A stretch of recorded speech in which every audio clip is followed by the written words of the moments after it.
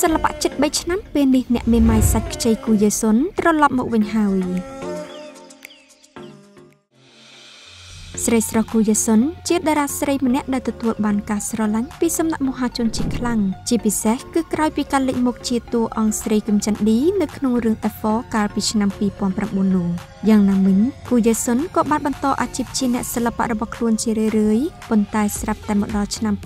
2019តារាស្រីរូបនេះហាក់បានប្រទះរឿងរ៉ាវជាច្រើនជាពិសេសនាងបានរកម្មរកុសជាមួយស្វាមីលោកអាន់ជេយុនរហូតត្រូវលែងលះគ្នាវិញបន្ទាប់ពីរៀបការបានទៅតែ2ឆ្នាំប៉ុណ្ណោះក្រោយពីនោះមិនបានប៉ុន្មានក្នុងឆ្នាំដដែលនាងក៏បានប្រកាសថាសូមដកខ្លួនពីសិល្បៈមួយរយៈដោយឲ្យហេតុផលថាសូមពេលទៅបន្តការសិក្សារបស់ខ្លួននៅឯសាកលវិទ្យាល័យសិនក្នុងនោះស្រីស្រស់គូយេសុនបានធ្វើឲ្យមហាជននឹកមិនតិចនោះទេព្រោះគេខានឃើញមុខនាងនៅក្នុងកញ្ចក់ទូរទស្សន៍ជិត3ឆ្នាំទៅហើយប៉ុន្តែក្នុងឆ្នាំ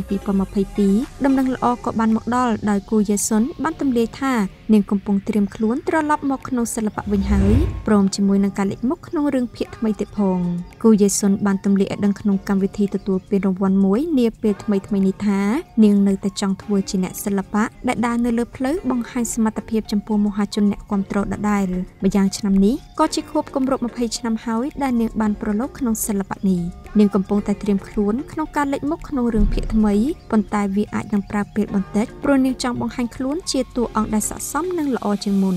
យ៉ាងណាមិញមហាជនអ្នកគ្រប់គ្រងពិតជាសប្បាយចិត្តមិនស្ទើរនោះទេក្នុងការត្រឡប់មកវិញរបស់តារាសំណប់ចិត្តរូបនេះហើយម្នាក់ម្នាក់ក៏ស្វាគមន៍នាងយ៉ាងអស់ពីចិត្តដូចគ្នា